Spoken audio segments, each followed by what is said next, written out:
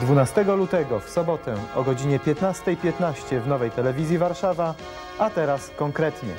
Nadawaną na żywo rozmowę widzów NTW ze Stefanem Kawalcem prowadzi Andrzej Tadeusz Kijowski.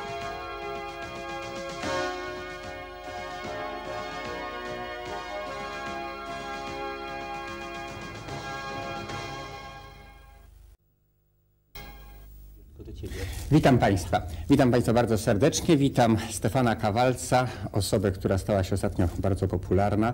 O mało na Stefanie Kawalcu nie potknęły się, e, nie potknął się rząd. E, Stefan Kawalec jest e, człowiekiem bezpartyjnym, jest matematykiem, od roku 1976 związany z Komitetem Obrony Robotników. Pracował w Centralnym Ośrodku Badania i Rozwoju Kolejnictwa, potem w SGPiS-ie, potem w rządzie e, PRL i jak powiedział mi przed chwilą, wszystkie te trzy instytucje, w których pracował, bardzo szybko zmieniały nazwy. E, W tej chwili e, od e, dwóch tygodni nie pracuje w Ministerstwie Finansów, a w telewizji zobaczyliśmy go po raz pierwszy, kiedy to w roku 1989 pod koniec w grudniu na takiej dużej konferencji prasowej ogłaszał, że dolar przestanie drożeć. E, Wielu mu nie uwierzyło, nie uwierzył mu Lech Grobelny, źle na tym wyszedł. Ja też mu nie uwierzyłem, źle na tym wyszedłem. To, co miałem, straciło całkowicie wartość. No, w związku z tym mam pytanie. Czy w związku z pańskim odwołaniem teraz pora znowu inwestować w dolary? Dzień, do, dzień dobry Państwu. Co e, znaczy, e, znaczą okoliczności mojego odwołania, to e, dla gospodarki to zobaczymy w najbliższej przyszłości. Ja myślę, ja mam nadzieję, że, mm, że nie stracimy tej szansy, przed którą polska gospodarka stoi. Szansy, która między innymi otwarła się przez to, że zostało wykonane porozumienie z Funduszem Walutowym i mamy szansę niejako skonsumowania drugiej raty redukcji zadłużenia z klubem paryskim. I w tej chwili według e, ocen miarodajnych ekspertów polska gospodarka e, ma wszelkie szanse na to, żeby mieć najwyższe tempo wzrostu gospodarczego w Europie co najmniej do końca, e, do końca tego stulecia.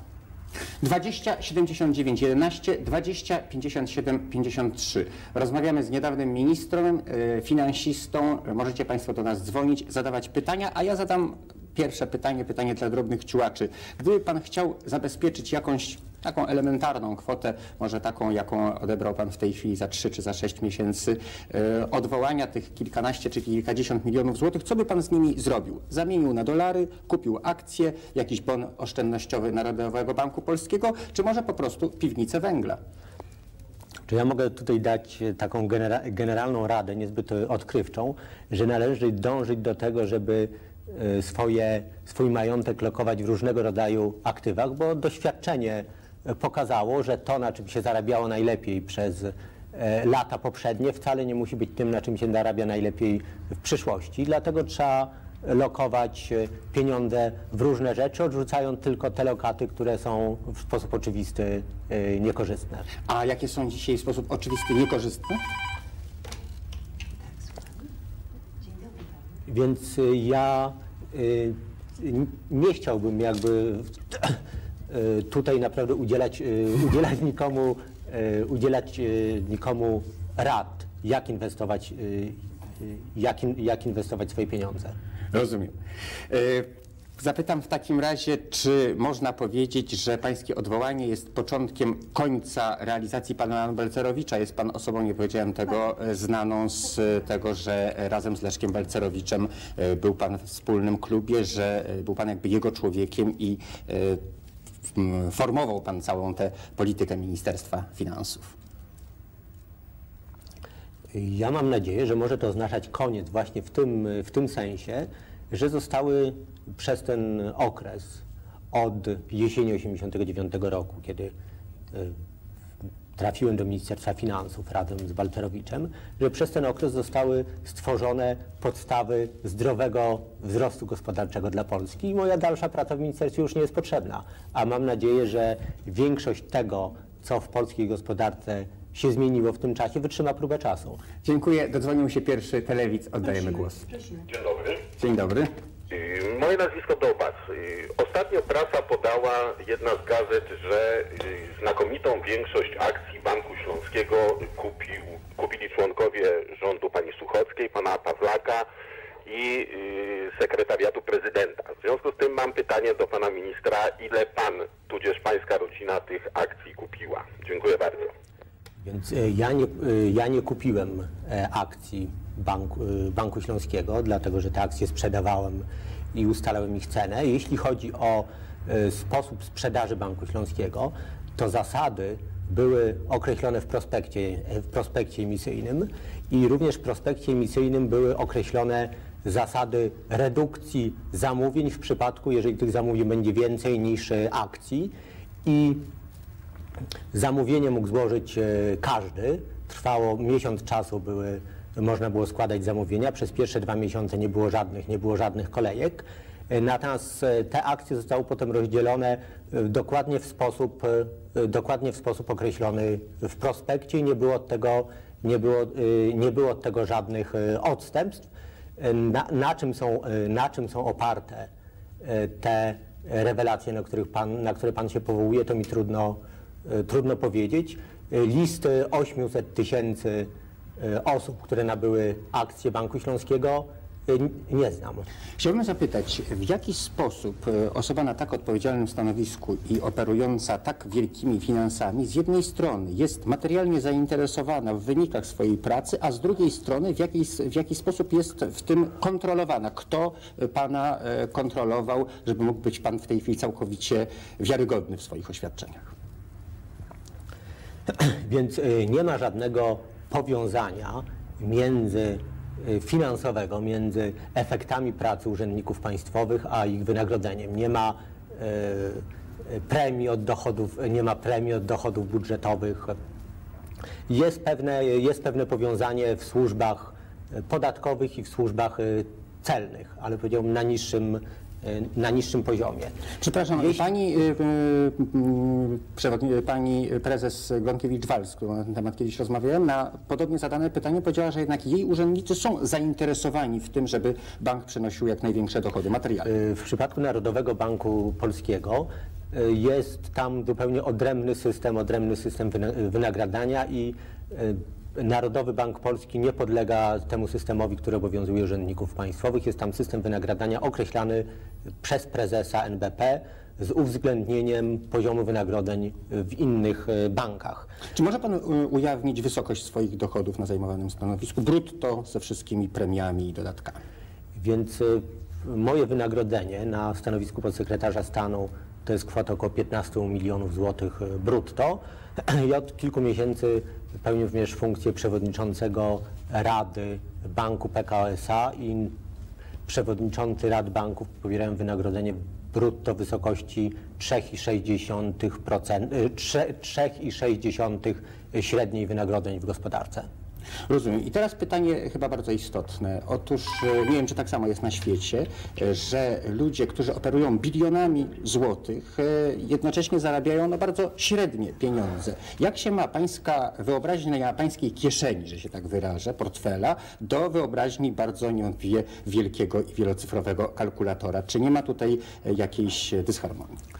Więc y, są to, że to są, są to rzeczy zupełnie nieporównywalne, między którymi nie ma żadnego, y, między którymi nie ma żadnego związku. To znaczy i myślę, że taka sytuacja przeważa również w większości, również w większości, krajów, w większości krajów na świecie. To znaczy, że wynagrodzenia osób sterujących finansami państwowymi no nie pozostają w żadnej proporcji co do skutków decyzji, które są przez te osoby y, podejmowane. A czy człowiek, który y, zajmuje się tak poważnymi sprawami, jakimi pan się zajmował, czyli właściwie przekształceniem całej y, gospodarki narodowej, nie powinien wykazywać się jakimiś osiągnięciami już na y, polu biznesu? Czy pan jako matematyk i y, pracownik naukowy miał przygotowanie do tego, żeby zająć się realną ekonomią? Więc y, praktyka, y, praktyka pokazuje, że doświadczenie na poziomie prowadzenia nie wiem, drobnego biznesu czy warsztatu y, rzemieślniczego jakby w żaden sposób się nie przekłada, w, żaden sposób się nie przekłada A kiedy jest to praktyka na poziomie na, korporacji? na y, na problemy związane ze, y, ze, sterowaniem, ze sterowaniem finansami państwa. Natomiast myślę, że praktyka na poziomie, y, na poziomie dużej korporacji już przy sterowaniu finansami państwa y, byłaby przydatna. Ja Dziękuję. takiej, praktyki, ja takiej praktyki nie miałem. Y, Kolejne pytanie. Wielu tak zwanych zwyczajnych ludzi zaczęło grać na giełdzie, podczas gdy politycy wydają się postrzegać ją jako miejsce podejrzanej spekulacji. Co pan o tym sądzi? Ja myślę, że jest wielkim sukcesem tych prywatyzacji ostatnich miesięcy i do tego się również przyczyniła prywatyzacja Banku Wielkopolskiego oraz y, Banku Śląskiego, to, że y, setki tysięcy ludzi zdecydowały się ulokować swoje oszczędności w akcjach, zamiast lokować je na przykład, na przykład w dolarach. I uważam, że to stwarza olbrzymią szansę przed polską, przed polską gospodarką.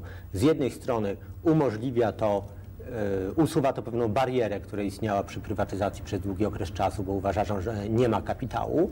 Z drugiej strony daje to szansę również m- przedsiębiorstwom, które już na tej giełdzie są lub przedsiębiorstwom, których nie, których nie trzeba prywatyzować, a które potrzebują po prostu kapitału dla siebie, dlatego że poprzez giełdę można ten kapitał zdobywać y, znacznie taniej niż zaciągając kredyty, niż zaciągając kredyty w bankach. I moim zdaniem trzeba zrobić wszystko, żeby ci ludzie, którzy zostali do tego rynku kapitałowego przyciągnięci, żeby nie stracili do niego, żeby nie, y, żeby nie stracili do niego zaufania i żeby na tym rynku y, pozostali. Państwo macie głos. pytanie y, naszego telewidza. A właściwie dwa pytania, panie ministrze. Pierwsza sprawa. Czy kwestia, że w tej chwili ilość pieniędzy na giełdzie być może przekracza właściwą wartość przedsiębiorstw, które są i w związku z tym możliwość spowodowania krachu nie spowoduje powstania jednak dużej rzeszy ludzi niezadowolonych z tego, z pewnymi powiedzmy naciskami na cały system prywatyzacji? To jest pierwsze pytanie o giełdzie. Natomiast drugie, czy pan, który z y, mniej znanego urzędnika w Ministerstwie Finansów, powiedzmy człowieka znanego określonemu, y, w określonym kręgu ekonomicznym, stał się w tej chwili osobą publiczną, czy pan wykorzysta to powiedzmy dla kariery politycznej? Jeśli chodzi o, jeśli chodzi o pierwsze pytanie, e, to ja chciałbym powiedzieć, że to, co się zdarzy na giełdzie, jest to rzecz zupełnie nieprzewidywalna, bo tutaj mamy pod, trzeba wziąć pod uwagę szereg, szereg czynników i zachowań, które jest bardzo trudno, e, które jest, bar, e, które jest bardzo trudno przewidzieć. Natomiast ta obawa, o której Pan mówił, e, była przez nas brana pod uwagę między innymi przy wycenie akcji Banku Śląskiego, bo chcieliśmy e, żeby były gwarancje, że niezależnie od tego, co się na giełdzie stanie, ludzie, którzy kupią, żeby ludzie, którzy kupią akcje Banku Śląskiego, nie ponieśli, nie, nie ponieśli straty i żeby nie doszło do takiej sytuacji, kiedy ci ludzie, którym Skarb Państwa sprzedał akcje, poczują się, y, poczują, że, poczują, że zostali oszukani, bo sprzedano im coś po zupełnie absurdalnie wysokiej y, cenie. Jeśli chodzi o pytanie drugie, to jest tak, że ja proszę. w okresie studiów i bezpośrednio po studiach właściwie do, e, do lat 80., do lat 80. byłem zaangażowany w działalność, e, w działalność polityczną w opozycji, w opozycji demokratycznej. Natomiast od momentu, kiedy jestem w Ministerstwie Finansów, od roku 89, e, traktuję, nie traktuję mojej funkcji jako funkcję, jako, jako funkcję polityczną. Nigdy nie działałem, nie działałem na rzecz żadnej partii politycznej i nie oceniałem decyzji, które są podejmowane, czy które ja podejmowałem z tego punktu widzenia, y, jakiej partii politycznej one szkodzą i służą. I nie zamierzam w tej chwili wiązać się z żadną e, partią polityczną, natomiast e, sądzę, że jest warto, jest celowe organizowanie opinii, opinii publicznej i ludzi z różnych ruchów politycznych dla pewnej idei, która wydaje mi się ideą bardzo ważną, mianowicie rozdziału gospodarki od polityki. To znaczy sądzę, że jest potrzebny pewien konsensus e, wśród opinii publicznej i wśród polityków co do tego, że pewne wyższe racje przemawiają za tym, żeby gospodarkę i pewne pozycje gospodarcze pozostawić poza wpływami politycznymi i nie traktować tego jako łupy, które dzieli się e, po każdej, po każdej kampanii wyborczej. Czy jest pan monetarystą i czy monetaryzm można uznać za opcję polityczną? Więc y, monetaryzm to jest pewna, monetaryzm to jest pewna, e- to jest pewna etykieta i ja tego rodzaju etykiet nie lubię. Natomiast y, jestem, y, y, jest, jest, jestem, ekono, jestem ekonomistą i uważam, że przy kształtowaniu, przy kształtowaniu polityki makroekonomicznej i budżetu występują, występują, naturalne, występują naturalne ograniczenia, które wskazuje wiedza, które wskazuje, które wskazuje wiedza ekonomiczna. E, Dzisiaj gruchnęła wiadomość o tym, że rząd zabrał się za. Przepraszam, źle powiedziałem. Nie rząd, tylko Sejm, Komisja Sejmowa zabrała się za budowanie budżetu. E, Gazeta Wyborcza komentuje to piórem pana Skalskiego, że jest to e, działanie zupełnie niepoważne, że Sejm tego typu uprawnień nie ma. Kto powinien e, pańskim zdaniem budżet kreować? Jakie w tym względzie mają uprawnienia posłowie? Czy te działanie dotyczące kilkunastu bilionów złotych zwiększenia emisji pieniądza uważa pan za poważnie, poważne zagrożenie? Więc jeśli chodzi o e, budżet, to za jego, odpowiedzialność za budżet w ostatecznym e, stopniu sprawuje Sejm. Natomiast e, Sejm powinien budżet kształtować w ten sposób, że powinien ustalać podatki i powinien ustalać to, w jaki sposób pieniądze, które wpłynęły z tych podatków i z tego, co rząd potrafi pożyczyć jeszcze dodatkowo, można podzielić na wydatki. Natomiast moim zdaniem byłaby sytuacja, e, byłoby sytuacją bardzo niezdrową, gdyby e, Sejm miał swobodę, gdyby Sejm miał swobodę rozwiązywania problemów przez drukowanie pieniędzy. Bo taka sytuacja e, prowadzi do do inflacji i jest w ogóle groźna dla, funkcjo- jest groźna dla, funkcjo- dla funkcjonowania państwa. I dlatego w cywilizowanych krajach y, tworzy się banki centralne, które mają bardzo dużą niezależność i, y, i te banki centralne w normalnych krajach y, nie drukują pieniędzy po to, żeby finansować wydatki rządowe. Rząd finansuje się z tego, co zebrał obywateli lub z tego, co mu inni obywatele dobrowolnie pożyczą. Wrócimy do tego tematu. Prosimy. Prosimy. Panie ministrze, e, chciałam zadać takie pytanie. E, Gospodarka polska opiera się na kodeksie handlowym e, przedwojennym. I chciałam zadać pytanie, dlaczego z tego kodeksu zgodziliście się Państwo wyjąć odpowiedzialność materia- materialną całym majątkiem osób kierującym, kierujących spółkami połączonych z kapitałem państwowym. To jest pierwsza sprawa. I, druga sprawa, osoby właśnie na podstawie tego kodeksu e, zarządzające tym majątkiem, podejmujące często gęsto negatywne decyzje świadomie dla własnej korzyści, nie odpowiadają karnie, a odchodzą po prostu i ponoszą odpowiedzialność za niegospodarność. Dziękuję bardzo. Więc y, jeśli chodzi o kodeks y, handlowy, to jest tak, że jeszcze w latach 60. z tego kodeksu handlowego wycięto, y, wycięto szereg przepisów, między innymi wycięto przepisy o y, odpowiedzialności karnej za y, rozmyślne doprowadzenie do bankructwa firmy i brak tych przepisów w tej chwili jest bardzo poważną przeszkodą w wielu sprawach prowadzonych w stosunku do firm, których właściciele ewidentnie spowodowali bankructwo po wyprowadzeniu majątku do innych, e, do innych spółek. I na pewno szereg przepisów, szereg przepisów kodeksu e, handlowego, e, które istniały w tym kodeksie, e, powinno zostać, powinno zostać do tego kodeksu handlowego przywróconych. Jeśli chodzi o możliwość pociągania do odpowiedzialności karnej osób, które pełniły funkcje z ramienia Skarbu Państwa, to istnieją takie przepisy. Istnieje przepis y, 217 y, kodeksu karnego, który y, mówi o pociągnięciu do odpowiedzialności za spowodowanie, y, za spowodowanie, poważnych, za spowodowanie poważnych, poważnych strat materialnych i w wielu sytuacjach prokuratura tym, prokuratura tym przepisem się, mm, tym przepisem się posługuje. Kolejne pytanie. Prosimy bardzo. Halo? Halo? Halo? Halo? Y.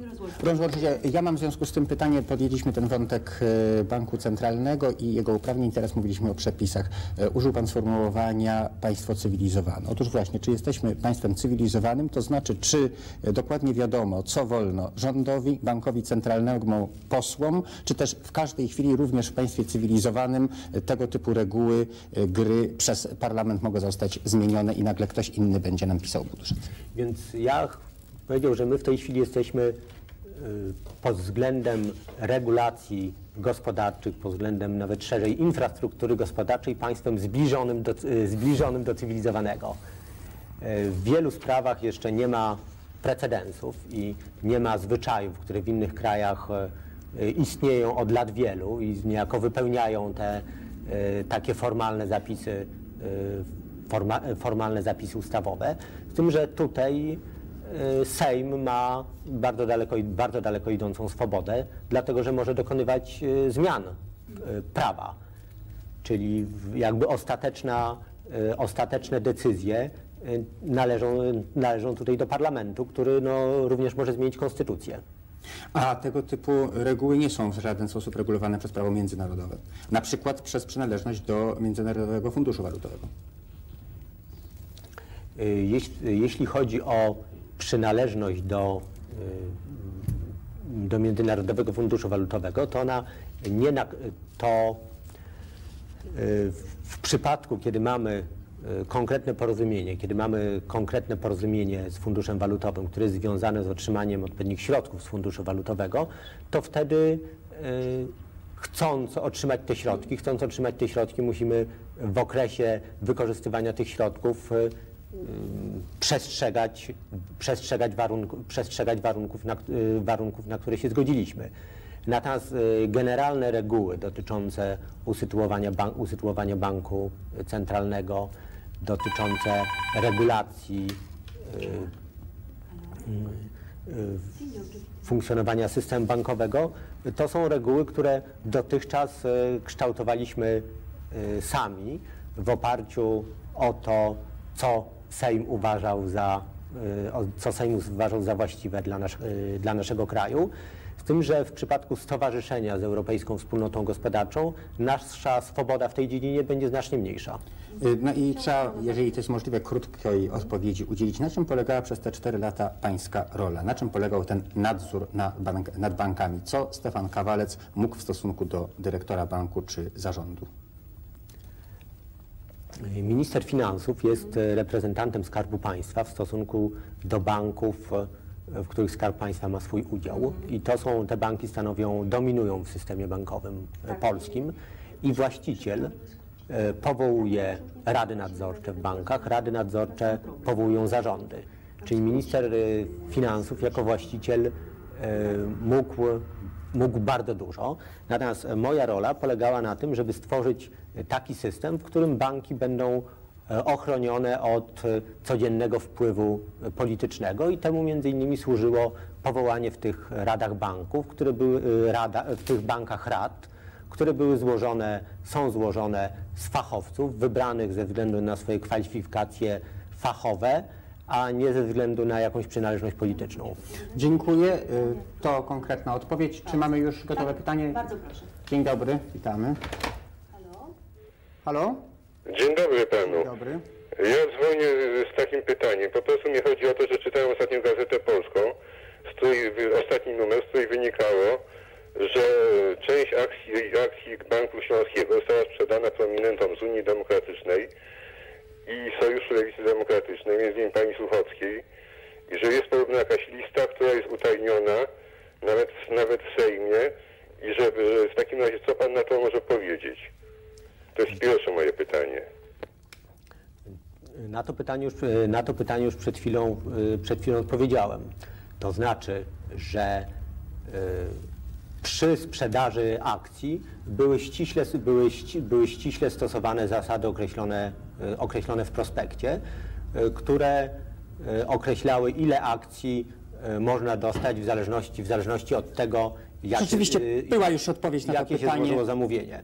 Y, Renata, zreferujesz pytanie, które Ktoś się rozłączył. Ktoś z telewizów się rozłączył, prosił o zadanie panu pytania dotyczącego y, powiązań z RDB, łapówki, a więc tego pomówienia, które gdzieś tam po brukowej prasie wędruje. Proszę to łaskawie skomentować. Więc y, w roku 91, w sierpniu 91 roku, kiedy właściciele RDB wyjechali z Polski, y, pozostały w polskich bankach czeki na kwotę 4,2 biliona złotych, czeki, y, czeki bez pokrycia. I w tym momencie to spowodowało konieczność likwidacji później banku handlowo-kredytowego y, y, w Katowicach. I w tym momencie został utworzony taki zespół, którego ja pracę koordynowałem w Ministerstwie Finansów. I w skład ten zespół niejako koordynował pracę instytucji, które się sprawą zajmowały, innymi Narodowego Banku Polskiego, prokuratury, Urzędu Ochrony Państwa. Y, Do mnie trafiały również w tym momencie propozycje od ludzi z kręgu RDB proponujące, żeby Skarb Państwa się zaangażował w ratowanie firmy, żeby udzielić gwarancji kredytowych po to, żeby ta firma mogła dalej, mogła spłacić swój dług i dalej funkcjonować. Te propozycje były przez nas y, odrzucane. Później y, w, ramach prac tego zespołu żeśmy doprowadzili do y, wszczęcia przed sądem w Izraelu y, procesu cywilnego w stosunku do y, byłych właścicieli RDB i w wyniku, y, w wyniku tego wszczęcia tego procesu zostały zablokowane pieniądze właści, byłych właścicieli RDB w Izraelu zidentyfikowane na kwotę chyba 85 milionów dola, dolarów. I później, później w wywiadach, które były udzielone w Izraelu, a potem puszczane w polskiej telewizji, właściciele RDB właśnie zarzucali mi to, że doprowadziłem do wszczęcia tego procesu, uważając, że jest to y, pomysł zupełnie absurdalny. No pomysł się nie, y, nie okazał zupełnie absurdalny, o czym świadczy po pierwsze zablokowanie tych środków przez sąd w Izraelu, czyli to znaczy, że roszczenia zostały przez sąd uznane za nieabsurdalne i wreszcie y, późniejsze propozycje ugodowe, które były zgłaszane przez Basika i Gąsiorskiego, którzy proponowali zapłacenie kilkudziesięciu milionów dolarów. Oskarżono pana o przyjęcie korzyści materialnej w wysokości 50 tysięcy dolarów. W Gazecie Wyborczej e, czytamy pańskie oświadczenie. Pieniędzy od nikogo nie żądałem ani nie otrzymywałem. Gazeta nie wspomina nic, nie, o- e, nic o procesie. Czyżby nie miał pan zamiar, zamiaru e, bronić się w sądzie? Więc y, jest współpracownik e, RDB, y, złożył takie oświadczenie, z tym, że złożył je w Izraelu, gdzie jakby moje możliwości skutecznego ścigania y, nie sięgają i na to, y, na to oświadczenie y, i potem na to oświadczenie się, na to oświadczenie powoływało się nie, czyli jakby główną osobą, którą powinienem, mógłbym skarżyć jest pan Brand Weiman, gdyby nie to, gdyby nie to, że on się znajduje, w Izraelu. Później on zresztą składał w tej sprawie również oświadczenia prokuraturze, które już miały, mówiły trochę co innego. Tych oś, y, jego oświadczeń w tej sprawie było y, sporo i są y, no, za każdym razem, za każdym razem inne. Kolejne pytanie. bardzo. Jedno z ostatnich. E, Ja chciałam e, najpierw zacytować wypowiedź pana ministra z dzisiejszej Gazety Wyborczej. Pieniądze zgromadzone w bankach są dla państwa i polityków jak konfitury stojące za szybą. Ja miałem pilnować, żeby ktoś ten, tej szyby nie stłukł. I dzisiejsza Gazeta Wyborcza kilka stron dalej podaje informację o odwołaniu pana Topińskiego, przewodniczącego Rady Nadzorczej Powszechnej Kasy Oszczędności BP. Jest to bank państwowy. E, Czy jest to taka próba stłuczenia tej szyby? Jest to dość niepokojące, muszę przyznać. Znaczy, y, Jest tak, że pan Topiński był przewodniczącym Rady Nadzorczej Banku PKO BP, a teraz został wybrany w wyniku konkursu na stanowisko prezesa zarządu tego banku. Czyli teraz będzie pełnił funkcję wykonawczą, kierując bezpośrednio tym bankiem i tej funkcji nie można łączyć z funkcją y, prezesa Rady Nadzorczej. Czyli tutaj odwołanie go z funkcji prezesa Rady Nadzorczej jest rzeczą y, naturalną. E, Nasz czas powoli się kończy. Na zakończenie krótkie pytanie. Czy e, działając w sprawie RDB nie miał Pan poczucia osamotnienia? Czy był Pan odpowiednio ochraniany przez nasze służby? Czy e, nie ma Pan poczucia, że ludzie, którzy w tę sprawę byli zaangażowani, zostali w pewien sposób wystawieni przez służby wywiadowcze? Nie mam, nie mam takiego poczucia. Natomiast uważam, że oskarżenia wysuwane pod moim adresem przez byłych właścicieli Art.B nie są moją prywatną, nie są moją prywatną sprawą, dlatego że to, że e, doszło do takiej sytuacji, że są wysuwane te, e, tego typu oskarżenia w taki sposób, że ja nie jestem w stanie się przed nimi skutecznie bronić, wynika e, z faktu, że podejmowałem pewne działania jako urzędnik państwowy w ochronie interesów Skarbu Państwa. I myślę, że bardzo niedobra byłaby taka sytuacja, gdyby urzędnicy, państw, gdyby urzędnicy państwowi na różnych, y, na różnych szczeblach i w różnych y, służbach mieli taką świadomość, że w przypadku, kiedy mają do czynienia z gangsterami, mogą być w przypadku, kiedy będą działali w sposób e, no, no, nie spełniający oczekiwań drugiej strony, mogą zostać zniszczeni, nie mając właściwie żadnej możliwości skutecznej, skutecznej obrony. Czas nam się skończył. Jednozdaniowe pytanie. Czy w tym roku grozi nam hi hiperinflacja? Mam nadzieję, że nie. Dziękuję. Ze Stefanem Kawalcem o sprawach finansowania e, rozmawialiśmy, w, a teraz konkretnie, a za tydzień o problemach e, narkomanów, ludzi chorujących na wirusa HIV. Rozmawiać będziemy z księdzem Arkadiuszem Nowakiem. A więc e, zapraszam za tydzień o godzinie 15.15 na A, teraz konkretnie. Dziękuję bardzo.